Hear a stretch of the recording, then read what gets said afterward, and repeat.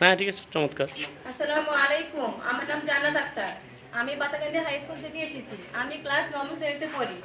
কাল মানে গতকাল আমাদের গতকাল আমাদের যেগুলো পড়েছে সেগুলো আমি আপনাদের সামনে রেভিনিউ করতেছি। প্রথমে আমাদের। If else if else if সম্পর্কে বলেছেন। কন্ডিশন এর উপর নির্ভর করে কোনো সিদ্ধান্ত নিতে ইফ ইলস ব্যবহৃত হয়। এখানে কন্ডিশন সত্য হলে একটি কাজ করবে। আর মিথ্যা হলে অন্য কিছু কুসম্ভাবনা এর জন্য C else if else statement ব্যবহৃত হয়।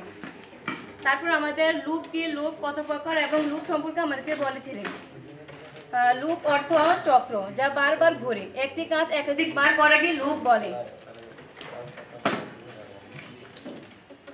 কোনো নির্দিষ্ট কোড বলক, বলকে রিপিট করার জন্য প্রোগ্রামিং এর লুপ ব্যবহৃত হয়। এরপরে সি প্রোগ্রামিং এর তিন ধরনের রূপ রয়েছে। এক, সি ফর লুপ। দুই, সি হোয়াই হোয়াইল লুপ।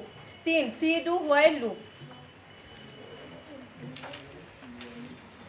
তারপর আমাদেরকে হেডার ফাইল কি? হেডার ফাইল সম্পর্কে আমাদেরকে বলেছিলেন।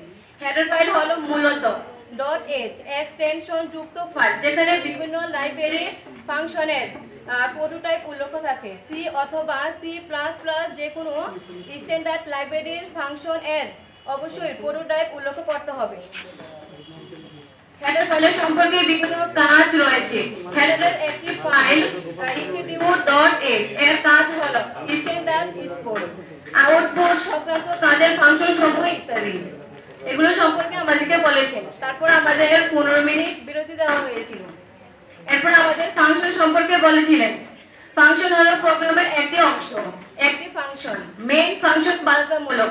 ফাংশনের নামের আগে ডাটাটা দিতে হয়। কোনো ফর্মুলা গঠন করে স্বয়ংক্রিয়ভাবে বিশেষ কোনো কাজ করা বা পরিগণনা করে কি ফাংশন বলে? মাইকটা সারা মাইকটা সারা ভালো হ্যাঁ বলো। ধরা যাক A one A two A three A four A five এর যোগ যোগফল বের করতে হলে এখন A one plus A two plus A three plus A four plus A five লিখে এন্টার করার চেয়ে sum A one is two A five লিখে এন্টার করলে সময় বাঁচে এবং ভুল হবার সম্ভাবনাও কম।